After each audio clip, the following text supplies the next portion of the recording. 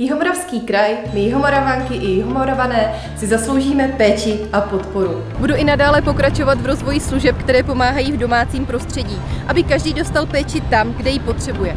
Chci se zaměřit také na rozvoj služeb prevence.